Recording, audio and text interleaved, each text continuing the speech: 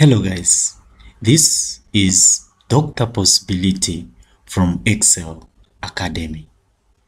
Please kindly make sure that you subscribe to our YouTube channel and make sure that you register with Excel Academy. In this video, I'm just going to explain on what a dizygotic twins are.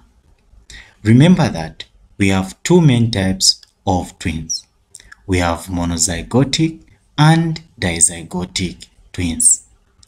In this video, I'm just going to focus on dizygotic twins. So the following are the characteristics of dizygotic twins. Number one, a dizygotic twins, these are formed from two ovals, that means from two oocyte and two sperms. And these twins can either have the same sex or opposite sex.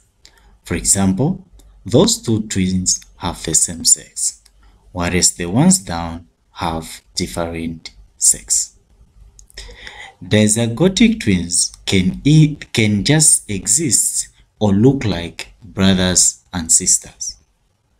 That simply means dizygotic twins are normally non-identical twins then dizygotic twins can either be double or fused.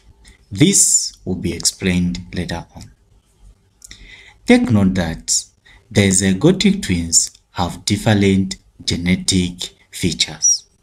This simply means that their DNA microprobe is also different.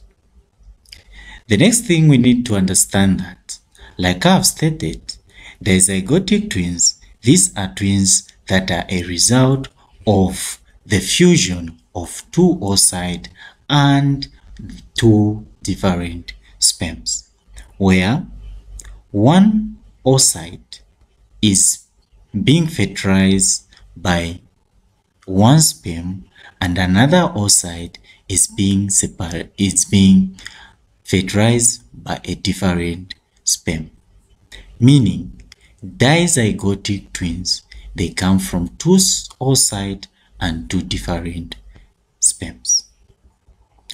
Just like it has been shown in the diagram.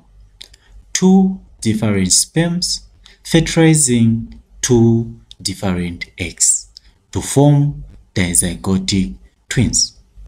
If at all two oocyte have been fertilized by two different sperms, that simply means that Dizygotic twins, normally each individual embryo develop in a different placenta and also different amnion cavity and also a different chorionic sac.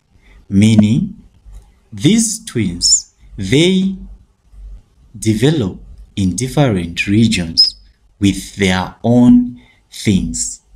Each with their own placenta, amnion, and also the chorionic sac. However, sometimes these twins may be fused. In that case, it can either be the placenta which has been fused or the chorion which has been fused.